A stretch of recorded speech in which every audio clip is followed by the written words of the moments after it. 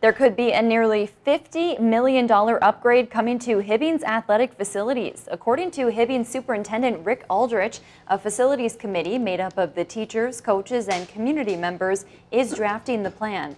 He says it includes a track resurface, turf fields, additional gym space, and a wellness center. Aldrich says he and the school board are working on a strategic planning initiative and will discuss the proposal through that process. No word on where that $50 million would come from.